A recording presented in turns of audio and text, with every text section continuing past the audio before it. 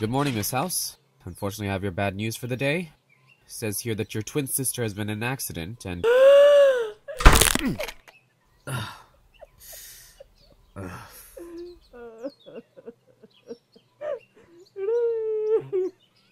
Ever think of going somewhere else? Stop laughing. What, like travel? Sure. Uh, I've done enough traveling in my lifetime. What about moving? Just going somewhere else? Well, yeah, occasionally the thought crosses my mind, but uprooting like that wouldn't be good for me. Or you, if that's what this is building towards. I think it'd be good for me. Huh. I'd rethink your strategy. That's a rough day. Chin up, Benny. Mr. Norton, Mrs. Vogelcheck, Mr. Platypus, Mrs. Shembla. You've been summoned by the courts to stand trial for the double murder and cannibalism of Paul and Phil. Your uh, assigned employee needs to be let go for insubordination. Your drug riddled son choked on his vomit and is now stuck in a coma. Your wife is pregnant. With your neighbor's baby. And it looks like tomorrow will be just as sunny and perfect as today. Thank you for tuning in to GNN. I'm your good reminding you to save your troubling info for your local bad newsman. Although, I wouldn't blame you for wanting a break from that sad old drone, huh? What? Who is he to insult me like that? I'm telling you, there's an asshole hiding behind that toothy fucking alien grin. If he knew half the shit I had to deal with daily, he'd be thanking me. I could do his job easy. People like you don't get those jobs, or any other ones. Everyone has their designated place, including me.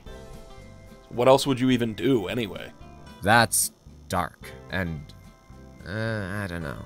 But I'll take anything at this point. If you have no plan, what do you keep bothering me for? It's not like you work in a poisonous mine. Yeah, but. Just do your job. Resigning's bad news for you. Mr. Neves? Your food truck has been condemned by the Public Health Association for violations against cleanliness. Could, could, I order a number two? Uh, your cat was poisoned by your neighbor. I'm really sorry, miss. Fuck you, Sheila.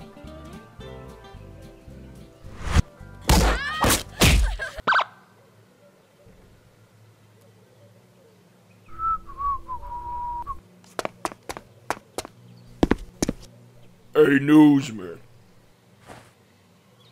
You got my wife put away? Well, she kinda got herself right.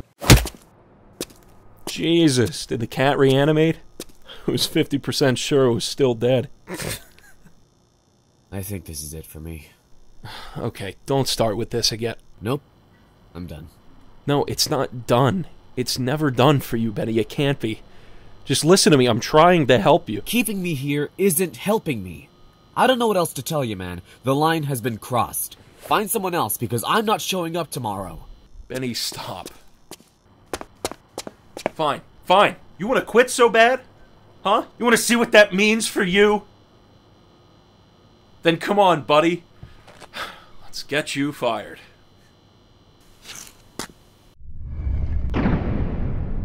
Is this a joke?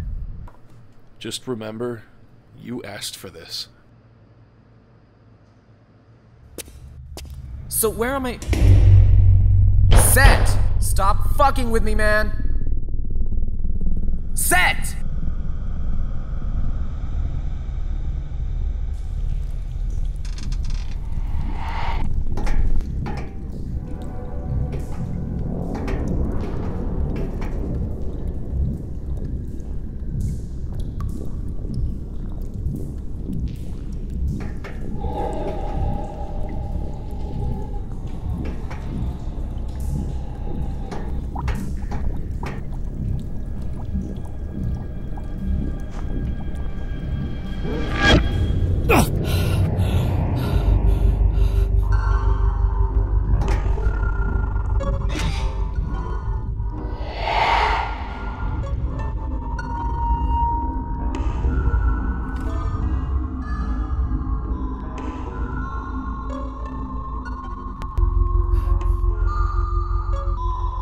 Happening?